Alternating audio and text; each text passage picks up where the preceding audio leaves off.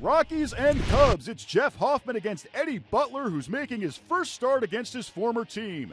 Top of the first, 1 0 Rockies. Mark Reynolds hits it out to left center field. The RBI double allows the Rockies to double their lead. It's 2 0.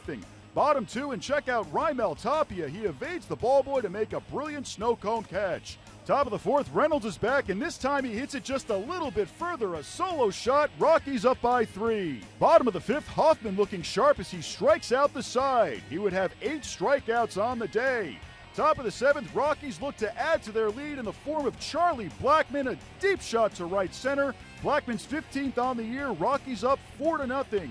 Top of the ninth, now 4 to 1. Bases loaded for Nolan Arenado. He doubles to left. That would empty the bases as the Rockies take a commanding 7 to 1 lead.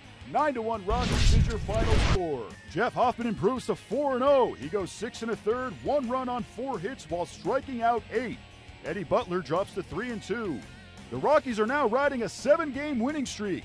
Cubs have lost four straight. Four game set wraps up on Sunday. And Antonio Senzatela will take the hill for the Rockies. He'll face Jake Arrieta.